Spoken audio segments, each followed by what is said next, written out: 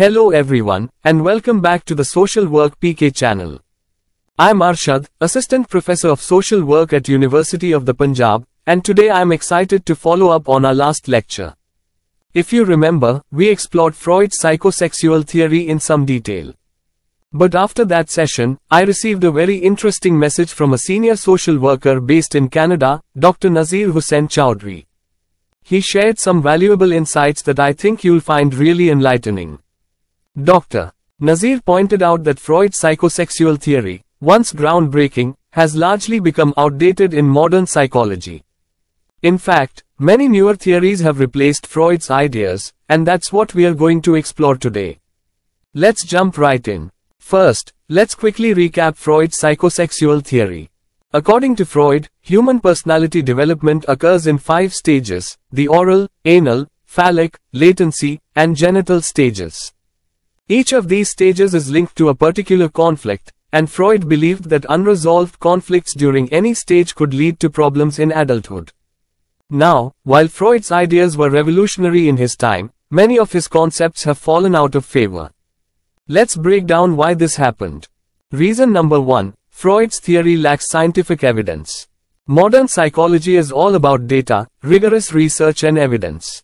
Freud, however, based his theory on clinical observations of a few patients, mostly wealthy Europeans. There were no controlled experiments, no large-scale studies. So, when today's psychologists examine his ideas, they find very little empirical support to back up Freud's claims. Let me give you a real-life example. Suppose you wanted to prove that childhood experiences with toilet training, part of Freud's anal stage, shape whether someone becomes overly neat or disorganized in adulthood. There's no solid evidence to back this up. Today, we know that behavior is influenced by multiple factors, such as environment, parenting styles, and cognitive development, not just unresolved childhood conflicts. Reason number 2. Freud overemphasized sexuality. Freud believed that sexual urges were the main force behind our actions and personality development. While it was bold to bring these ideas into the public discussion at the time, today we know that human behavior is much more complex. Modern psychology recognizes that many factors, social influences, cognition, and culture, all play a role in shaping our personalities. For instance, if someone is dealing with anxiety, Freud might have traced it back to unresolved sexual desires from childhood. But in today's psychological practice, we'd look at cognitive factors like negative thinking patterns, or perhaps environmental factors like stress or family dynamics. Freud's focus on sexual desires as the root cause is just too narrow by modern standards. Reason 3. Our culture has changed. Freud's theories were developed at a time when discussing sexuality openly was taboo. He was seen as a revolutionary thinker, challenging Victorian norms. But as society has evolved, our understanding of human behavior has, too.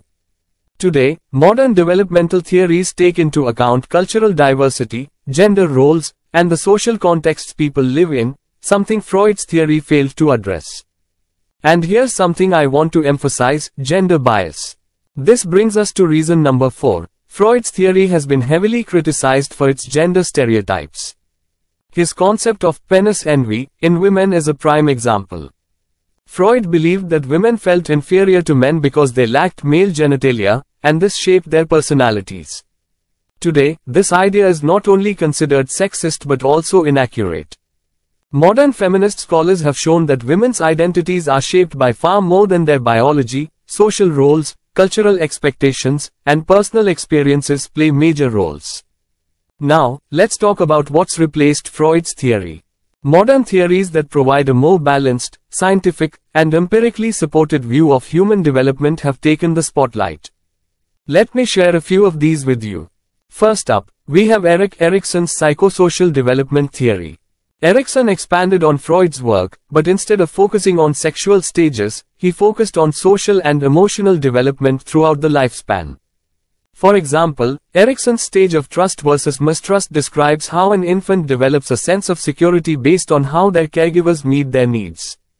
Unlike Freud, Erikson looked at lifelong development and recognized that social experiences, how we relate to others, are key in shaping who we are. Now let's move to Jean Piaget's cognitive development theory. Piaget didn't focus on sexuality at all. Instead, his theory is all about how children develop thinking and problem-solving skills. His work has been hugely influential, especially in education, and gives us a clearer understanding of how a child's mind evolves as they grow.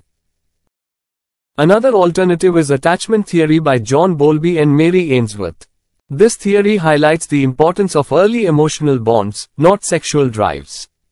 According to Bowlby, the way we attach to our caregivers as infants affects our relationships throughout life. It's about emotional security and how that shapes our ability to form healthy relationships. This has had a big impact, especially in understanding parent-child dynamics. Then there's social learning theory by Albert Bandura.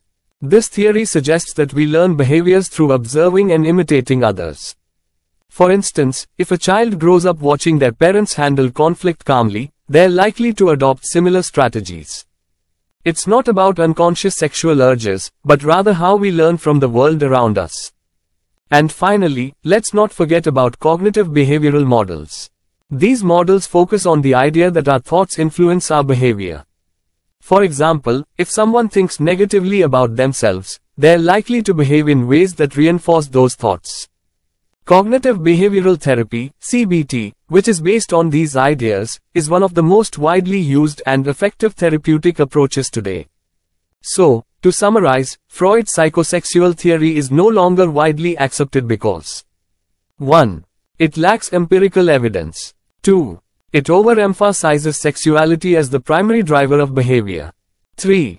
It's culturally outdated, and 4. It has been heavily criticized for its gender bias. In its place, we now have more holistic theories like Erikson's psychosocial theory, Piaget's cognitive development theory, Bowlby's attachment theory, and Bandura's social learning theory, all of which give us a better rounded understanding of how humans grow and develop. I hope this gives you a clearer picture of why Freud's theory, while historically significant, has been replaced by more modern, scientifically backed approaches. Thank you for tuning in. Once again, I'm Arshad, Assistant Professor of Social Work at the University of the Punjab, and I'd like to extend my gratitude to Dr. Nazir Hussain Chaudhry for prompting this important discussion. If you found this lecture useful, make sure to subscribe to my channel, The Social Work PK, for more insights on social work and psychology. Until next time, take care and keep learning.